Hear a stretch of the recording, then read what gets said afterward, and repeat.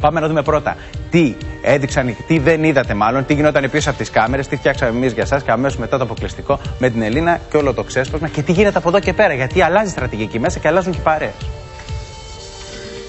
Όταν η Βαλεντίνα με χτύπησε μέσα στο παιχνίδι, που δεν νομίζω να το είδε κανείς αυτό, ο Γιάννης και οι υπόλοιποι πήραν το μέρος της. Ενώ έπρεπε να είχε αποβληθεί από την αρχή από το παιχνίδι. Θεωρείς ότι η Βαλεντίνα είχατε κάποια διένεξη; Βεβαίως με έβρισε πολύ άσχημα και της είπα: Δεν σου επιτρέπω να μου μιλάς έτσι. Δεν είμαι ούτε η μητέρας σου να σε ανεχτώ, ούτε ο γκόμενό σου. Όπως το λέω. Και άρχισε να με χτυπάει και μπήκανε όλοι στη μέση. Να σε χτυπάει, τι Να μου εννοείς; τραβάει τα μαλλιά, να μου δίνεις σφαλιάρα, τέτοια πράγματα.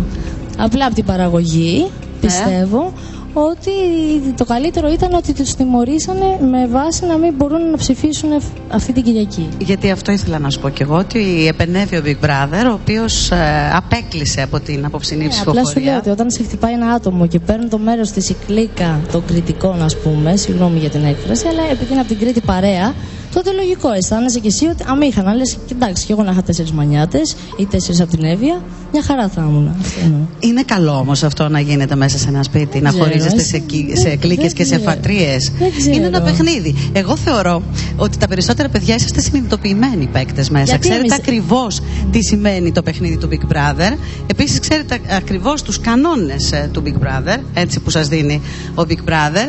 Οπότε θεωρώ ότι ξέρετε ότι σας παρακολουθούν 23 ώρες το 24ωρο με μία ώρα κενό.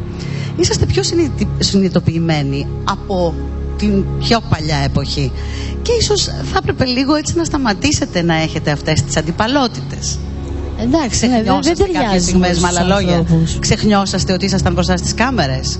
Καλά, πολλές φορές. Ναι, Το ξεχνάγαμε εντελώς ότι μας βλέπουν κάμερες. το ξεχνάγατε. Έχεις μια πικρία τώρα. Όχι, καμία σχέση. Εγώ χαίρομαι ίσα ίσα που θα δω του πολιτούς μου επιτέλους. Ναι.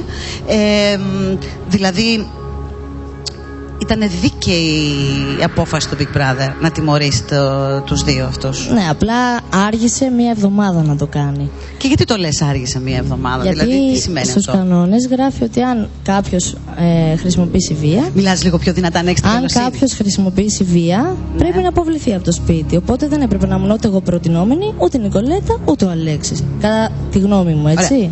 Εγώ θέλω να διευκρινίσω κάτι για να είμαστε εντάξει όλοι μαζί.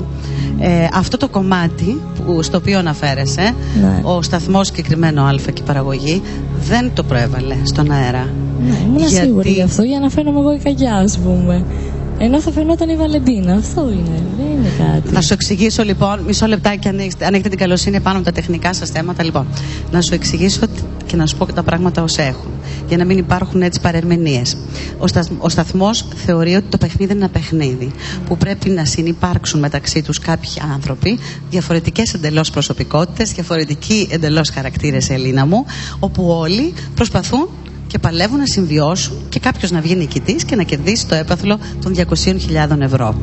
Οι αντιπαραθέσεις και οι αντιπαλότητες τέτοιου τύπου ε, θεωρήσαμε ότι δεν είναι ωραίο να βγουν προς τα έξω και να απασχολήσουν το τηλεοπτικό κοινό, διότι δεν είναι αυτό το ζητούμενο του παιχνιδιού.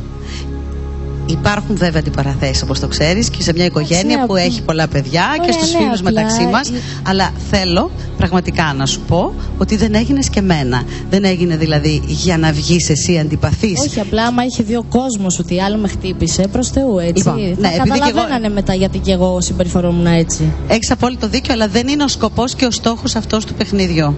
Και εγώ δεν έχω κανένα πρόβλημα, δεν κρατάω κακία. Απλά άμα ήμουν έξω θα τη είχα κάνει μήνυση, ας πούμε, τίποτα άλλο.